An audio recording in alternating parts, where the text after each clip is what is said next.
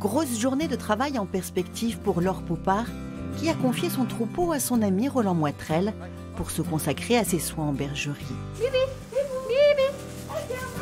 Première urgence, donner leur biberon à une petite troupe d'agneaux affamés. En fait, on fait des biberons euh, deux à trois fois par jour. Pour le plus petit, euh, c'est trois fois par jour et pour les plus gros, c'est deux fois par jour. Et ça, c'est tous les agneaux qui ont été abandonnés euh, dans la baie par leur maman. Donc on les récupère parce que c'est vrai que dans un troupeau de 2000 moutons, bah, des fois c'est des jeunes mamans qui mettent bas pour la première fois, elles comprennent pas ce qui leur arrive.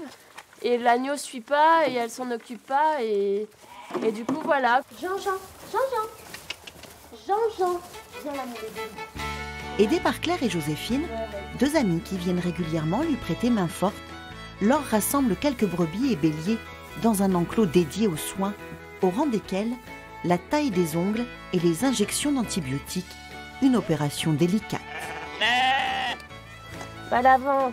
Bon, tu vois, il n'y a pas grand-chose à faire là. Tu donnes juste un petit coup. Donc on a les, brebis qui boitent, euh, qu'on a ramené de la baie en général. Et après, on a nos béliers qui restent là euh, jusqu'à ce que ce soit l'heure euh, de la reproduction. Et euh, du coup, c'est vrai qu'il faut soigner les béliers avant qu'ils sortent et soigner forcément les mamans qui boitent et, voilà, et les ressortir après. Joséphine travaille auprès de Laure depuis six mois. Elle hésite encore à se lancer dans le métier de berger. Donc le bleu, c'est un antiseptique, comme nous, quoi, le mercurochrome. Mais elle ne cache pas son admiration pour le travail fourni par Laure. Elle est courageuse qu'il pleuve, qu'il vente, qu'il neige, elle a le sourire, elle dit mais Jo, on y va, allez, c'est pas grave.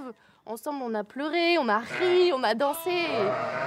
Et, malgré nos soucis au quotidien, alors que c'est un quotidien physique qui est dur, qui est tous les matins, il faut se lever. Et là, dit oh, j'ai pas envie d'y aller, mais je suis obligée. Mais elle y va avec le sourire. Elle dit tout le temps qu'elle n'a pas les épaules, mais c'est pas vrai. Derrière le sourire de Laure Poupard, le poids des emprunts à rembourser, pour la construction de sa bergerie notamment. Et depuis trois ans qu'elle s'est lancée, aucun revenu en propre.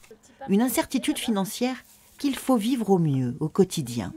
Mais en fait, l'agneau de présalé, c'est un agneau avant tout de qualité et non de quantité. Et donc, on ne fait pas beaucoup d'agneaux par brebis. Et malheureusement, aujourd'hui, c'est vrai que je n'arrive pas encore à vivre de mon élevage. Il faudrait que j'arrive à 300 brebis pour à peu près vivre. Et, euh, là, j'en suis qu'à 220. Donc, euh, donc voilà. Après, on a une qualité de vie qui est complètement différente et on a besoin de moins de choses qu'avant. Mais c'est vrai que malgré tout, on dit que l'argent ne fait pas le bonheur, mais je pense qu'il faut juste un minimum quand même.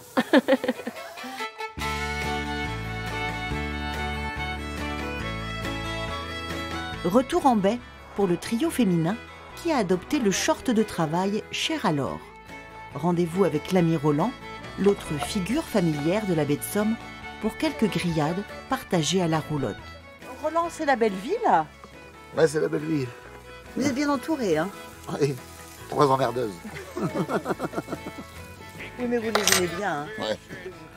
Beaucoup de rire et d'amitié autour de la roulotte de Roland et Laure. Un duo désormais inséparable. Bah, votre bonne santé, hein Les deux souriants visages du métier de berger en de Somme. Et